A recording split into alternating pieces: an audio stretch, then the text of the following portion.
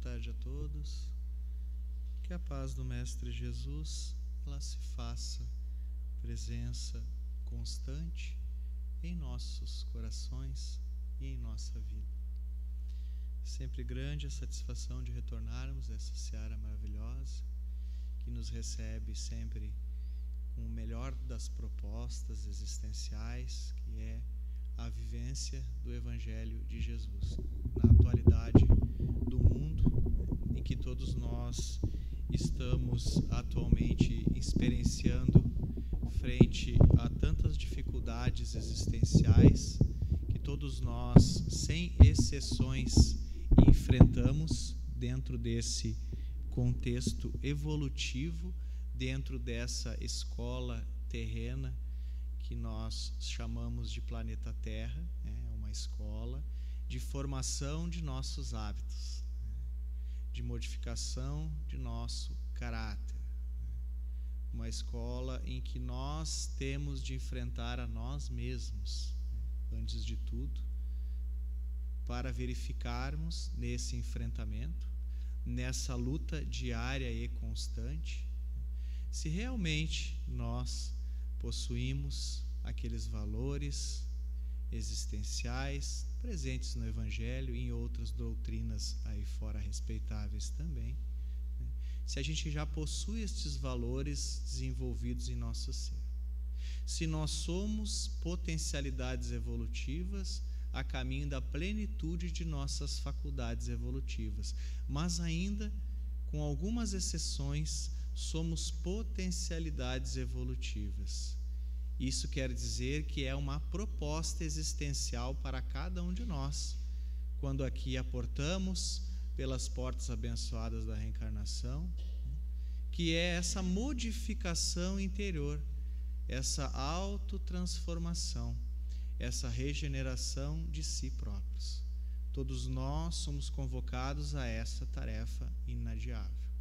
É uma tarefa que nós não podemos terceirizar, amados, que nós não podemos delegar para mais ninguém. É uma tarefa que cabe a nós. Esse é o nosso trabalho. Tudo mais que nós vemos aí fora, de fato, é caminho, como no dizer de espírito, do Espírito Emmanuel, caminho em que nós estamos transitando. Ou seja, faz parte do contexto evolutivo, mas o essencial mesmo é o nosso progresso espiritual aqui neste orbe. Para isso, nós temos as ferramentas, e uma dessas ferramentas, a maior delas, ao nosso ver, que o Espiritismo tanto nos apresenta e nos traz tão bem em forma de mensagem, é a vivência e a prática do Evangelho, das boas novas, das boas notícias que Jesus nos trouxe.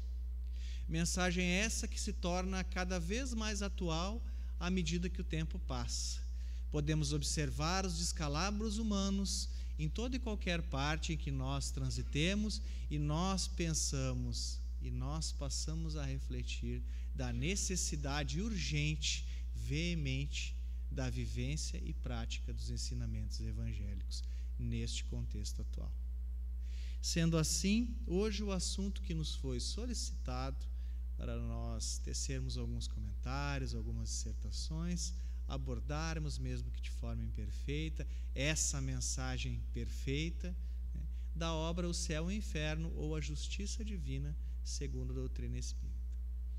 Se nós não conhecemos essa obra, fica o convite para que nós a conheçamos, porque aqui há uma proposta interessante né, que vai nos trazer grandes benefícios existenciais porque os assuntos que aqui estão neste grande livro Luz né, são assuntos práticos, são assuntos que devem fazer parte do nosso contexto de evolução. Aqui nós nos encontramos.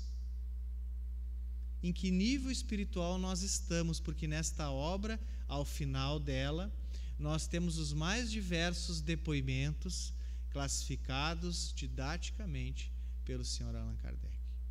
Nós temos depoimentos de espíritos felizes, nós temos depoimentos de espíritos sofredores, nós temos depoimentos de espíritos criminosos arrependidos, verdadeiramente arrependidos, né? espíritos endurecidos, suicidas, espíritos medianos, que acreditamos que é onde nós nos enquadramos, que bom que for, né?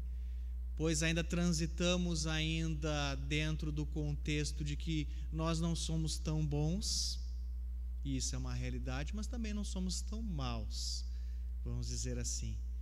Pois que sabemos dar boas dádivas aos nossos filhos, né? Como diz a passagem evangélica, né? que dirá ao Pai, né, que habita as zonas superiores.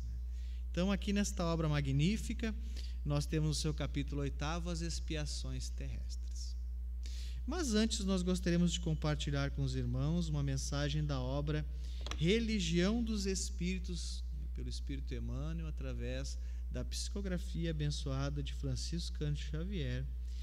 E dentre outros assuntos, ela vai trazer uma mensagem bem significativa para nós iniciarmos as nossas reflexões, que tem por título Em Plena Prova. Nós sabemos que estamos inseridos num contexto de provas e expiações. É uma característica de nosso orbe planetário ser um planeta de provações e de expiações. Provações porque não somos perfeitos. Lembram do, do, da, da, introdução inicial, né? que nós colocamos a questão das perfeições relativas que nós precisamos buscar né? através do processo evolutivo. Né? Como não somos perfeitos, nós passamos por provas precisamos ser testados, porque o que não é perfeito precisa ser testado.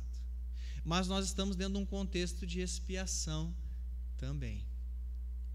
E aí já fica dentro do critério do nosso livre-arbítrio nós criarmos expiações para nós ou não. Porque uma expiação vai nos endereçar um outro caminho a ser trilhado, que é o caminho da reparação ou das reparações.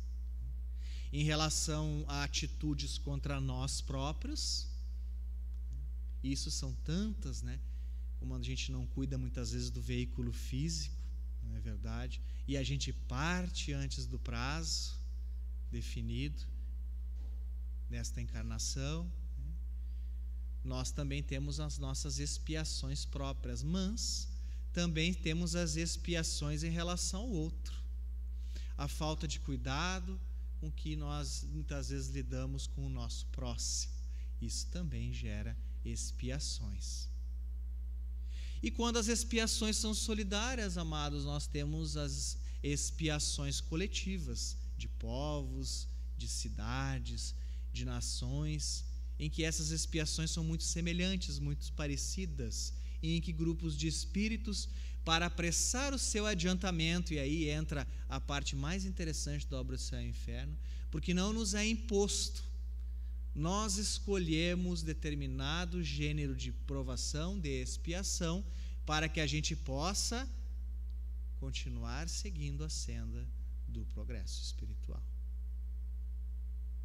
Então, essa mensagem inicial é uma mensagem de otimismo, de conforto espiritual, né? de esclarecimento, de convite, de advertência. Então, vai nos dizer inicialmente: aguardas a melhora que te parece tardia. Suspiras em vão pelo amigo ideal anseias inutilmente pela concórdia doméstica. Tão difícil, né? Pela nossa incapacidade muitas vezes de amar, né? que nós não encontramos um ar respirável dentro de nossos lares. A gente vai ver mais à frente na mensagem. Clamas de balde pelo socorro em serviço Todavia, mesmo nos transes mais duros, mais aflitivos, espera com paciência. Ontem devastamos lares alheios. Hoje é preciso reconstruí-los. Ontem traçamos caminhos de lodo e sombra aos pés dos outros. Hoje é preciso purificá-los, consertá-los. Ontem retínhamos sem proveito a fortuna de todos, o que é para todos, para ser dividido entre todos, saindo da concha do egoísmo. Hoje é preciso devolvê-la em trabalho, acrescida de juros. Ontem cultivamos aversões. Hoje é preciso desfazê-las a preço de sacrifícios. E quão poucos de nós, nos diz o livro dos Espíritos, através da espiritualidade superior, que nos ditou a obra, fazem sacrifícios.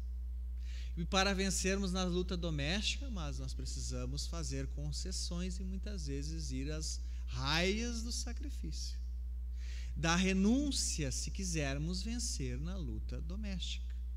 Dentro de nossos núcleos familiares, em que lá nos encontramos dentro de um contexto expiatório também solicitado por nós mesmos. E em que estamos sim com espíritos familiares, amigos, mas também pode acontecer, e acontece muito, de nós nos reencontrarmos com espíritos antagônicos, não tão familiarizados com o nosso modo de ser, de antipatias muito antigas, que se a gente não tem a vivência do Evangelho dentro de nós, se a gente não sai daquele amor precário, daquele amor que só oferece, que doa, sem nos sem pedir nada em troca, essa é a proposta evangélica, é a proposta de Jesus. Nós não conseguimos conquistar estes corações que no passado nós o magoamos. Nós o mal encaminhamos muitas vezes. E nós mesmos solicitamos, nós mesmos precisamos perdoar para sermos perdoados. Nós mesmos precisamos ser misericordiosos para que nós obtenhamos misericórdia. Nós mesmos precisamos construir, reatar esses laços desfeitos no outrora. Mas como reatar esses laços se eu não quero vivenciar a mensagem viva do amor presente no Evangelho. Se eu não quero conceder, se eu não quero dar o desconto divino, que é a própria misericórdia, que a gente tanto solicita para conosco, mas que muitas vezes a gente não oferece ao outro. Então, na luta doméstica, que Emmanuel fala aqui, nas lutas expiatórias, nós estamos sim com espíritos afins junto a nós. Para quê? Para que nós possamos fortalecer os nossos vínculos, os nossos laços. Mas se a gente não perdoa, amados, nós podemos vir sim a cair em núcleos familiares em que as coisas podem ser mais difíceis e em que estamos estranhos uns aos outros. Por isso, Jesus nos disse: reconcilia-te depressa com teu adversário. Enquanto estás a caminho com ele, para que ele não te entregues ao juiz e o juiz não te entregues ao ministro da justiça e não for e não és colocado na prisão e não saias de lá até que quite o último sentiu. Nas prisões expiatórias Jesus quis nos endereçar já há mais de dois mil anos que a doutrina espírita hoje também nos esclarece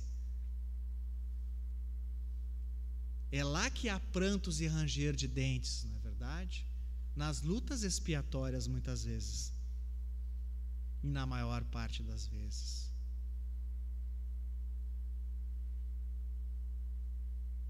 Ontem cravamos no próximo o espinho do sofrimento. Hoje é preciso experimentá-lo por nossa vez. Se sobes Calvário agreste, irriga em suor e pranto a senda para o futuro momento de mudança. Qual ocorre ao enfermo que solicita assistência adequada. Antes da consulta, implorastes antes do berço a prova que te agracia. Aspirando, desejando, né? A sanar as chagas do pretérito, as criações do passado. Comissionaste o próprio destino para que te entregasse à existência o problema inquietante e a frustração temporária, o embaraço imprevisto e a trama da obsessão, as obsessões, né? Pela falta de perdão, o parente amargoso e a doença difícil. Nem toda prova é uma expiação, mas toda expiação é uma prova, não é, amados? Lá no livro dos Espíritos. Não atraiçois a ti mesmo, não traias a si próprio, fugindo ao merecimento da concessão divina. Milhares de companheiros, desenleados da carne, do físico, suplicam o ensejo que já desfrutas. O fato de nós estarmos aqui reunidos. Né? Quantos gostariam e não podem por N motivos.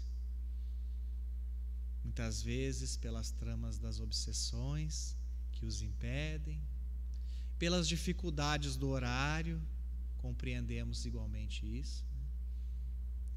E nós estamos com essa oportunidade né, de estar reunidos em nome de Jesus, né, para refletir em torno da sua mensagem que visa o que, amados? Libertação espiritual. Palavra linda, palavra muito bonita, não é verdade? Liberdade de pensamentos, de sentimentos, vivência da proposta de libertação espiritual. Essa é a proposta divina para nossas vidas. Que nós sejamos livres, mas para que nós sejamos livres, nós precisamos do conhecimento da verdade. E a verdade está inserida em Jesus de Nazaré. Mergulhados na dor maior, tudo dariam para obter a dor menor em que te refazes. Desse modo, quando estiveres em oração, em prece, sorvendo a taça de angústia, na sentença que indicastes a ti próprio diante das leis divinas, a nossa própria construção, roga a bênção da saúde e a riqueza da paz, a luz da consolação e o favor da alegria, mas pede a Deus, acima de tudo, o apoio da humildade e a força da paciência a humildade, Emmanuel fala aqui. Né? Virtude base, fundamental, sem a qual as outras simplesmente não existem ou não se mantêm. Por isso que no Sermão da Montanha, bem-aventurados os pobres de espírito ou em espírito, porque deles é o reino dos céus. Porque essa conquista está atrelada ao quanto nós somos humildes. E isso vale, amados, tanto para cima quanto para baixo. Se eu já estou em condições de vivenciar uma mensagem mais elevada, por que é que eu não vivencio? Isso é humildade? Isso é modéstia? E o contrário também é válido. Né? Quando eu não me analiso, não me autoconheço verdadeiramente, né, como o Espiritismo tanto nos solicita e nos preconiza, e nos dá as ferramentas dessa profilaxia, de autoconhecer-se, né, essa busca interior, nós também passamos a nos avaliar de forma imperfeita. Ou sobre elevando demasiadamente a nossa personalidade, achando que sem nós nada mais acontece, ou para baixo também, quando eu nunca me acho capaz de fazer esforços sobre mim mesmo. Então a humildade está atrelada tanto para cima quanto para baixo, ou a falta dela. Seu oposto mais ferrenho, que é o orgulho.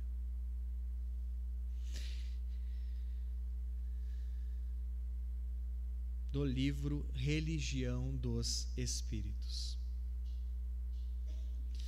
Não a crer, no entanto, nós gostaríamos de esclarecer algumas coisas em relação à prova e expiação, para que a gente saia daqui né, com alguns conceitos fortalecidos né, em nosso espírito e nossa alma. Não a crer, no entanto, que todo sofrimento suportado neste mundo denote a existência de uma determinada falta. Isso é muito importante. Está né? lá no capítulo 15 do Evangelho segundo o Espiritismo, né, inicialmente. Muitas vezes são simples provas prestem atenção, muito importante, buscadas pelo Espírito, para concluir a sua depuração, a sua elevação e apressar o seu progresso. Por isso que nós não podemos julgar determinadas situações aí fora.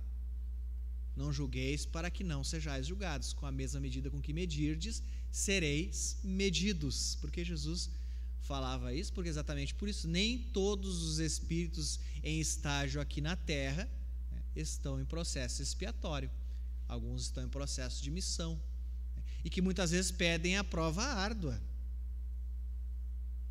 para elevarem-se um tanto mais, um pouco mais. Então, se a dificuldade nos visita e pode visitar a qualquer um de nós, nem sempre é uma expiação. Isso é muito importante. A nossa doutrina vai nos colocar isso com muita claridade. E a gente aí sai daquele contexto de punição divina. Isso é muito importante. E entra no contexto de livre-arbítrio, de escolhas propriamente ditas. Assim, a expiação serve sempre de prova, como falado anteriormente, mas nem sempre a prova é uma expiação. Olha que importante esse conceito. Provas e expiações, todavia, são sempre sinais de relativa inferioridade do espírito.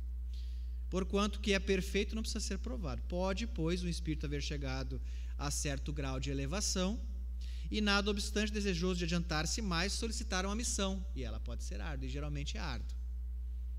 Uma tarefa a executar pela qual tanto mais recompensado será se sair vitorioso, quanto mais rude haja sido a luta. Tais são especialmente as pessoas de instinto naturalmente bons, de alma elevada, de nobres sentimentos inatos que parece nada de mal haverem trazido de suas precedentes existências e que sofrem, com resignação toda cristã, as maiores dores, somente pedindo a Deus que as possam suportar sem murmurar. Benefícios da paciência. Né? Pode-se, ao contrário, considerar como expiações as aflições que provocam queixas, quando a gente não se conforma, aí é uma expiação fica fácil agora nós nos entendermos em que contexto nós nos encontramos. Isso é autoconhecimento. Se eu estou me queixando, murmurando, rebelde frente às leis divinas, estamos diante de uma expiação. Agora, se eu já aceito, já tenho superioridade do senso moral, a maturidade do senso moral, eu consigo encarar como uma prova e eu consigo atingir mais facilmente os bons resultados dessa prova, né, porque o meu pensamento está em elevação, né? E impelem o homem à revolta contra Deus. Entretanto, isso é muito importante, capítulo 3, nem todos os espíritos que encarnam na terra vão para aí em expiação. As raças a que chamais selvagens são formadas de espíritos que apenas saíram da infância e que na terra se acham, por assim dizer, em curso de educação, para se desenvolverem pelo contato com espíritos mais adiantados. Vêm depois as raças semi-civilizadas, constituídas desses mesmos espíritos em vias de progresso. São elas, de certo modo, raças indígenas na terra, que aí se elevaram pouco a pouco em longos períodos seculares, algumas das quais hão podido chegar ao aperfeiçoamento intelectual dos povos mais esclarecidos. Os espíritos em expiação, que é o nosso caso, se nós podemos exprimir dessa forma, são exóticos na Terra, não são daqui. Já viveram noutros mundos de onde foram excluídos em consequência da sua obstinação no mal, e por se haverem constituído em tais mundos, causa de perturbação para os bons. A gente está melhorzinho um pouco, né? Medianos, lembram? Tiveram de ser degradados. Lá no capítulo 3 do Evangelho está escrito. Por algum tempo para o meio de espíritos mais atrasados, com a missão de fazer que estes últimos avançassem. Olha a misericórdia divina aí. Olha a providência divina. Pois que levam consigo inteligências desenvolvidas e o germe dos conhecimentos que adquiriram. Daí vem que os espíritos em punição se encontram no seio das raças mais inteligentes. Por isso mesmo, para essas raças é que, mais, é que de mais amargor se revestem os infortúnios da vida. Aquela noção de paraíso perdido. Né? É que há nelas mais sensibilidade, mais orgulho também, né? Sendo, portanto, mais provadas pelas contrariedades e desgostos do que as raças primitivas, cujo senso moral se acha mais desembotado ou menos desenvolvido, vamos dizer assim. Então, essa tríade maravilhosa, que reflete a justiça divina, constitui-se de arrependimento verdadeiro, não tão somente labial. O que, que é o arrependimento? Que tanto se ouvia naquela época evangélica e que está presente nas passagens evangélicas, né? é o retorno sincero e efetivo ao bem, ao caminho do bem, nos diz a doutrina espírita. Isso é arrepender-se. Tem que ser sincero, amados. Porque eu tenho que me convencer de que eu errei, de que eu me equivoquei em relação a determinada situação, pessoa ou coisa. Tem que ser sincero.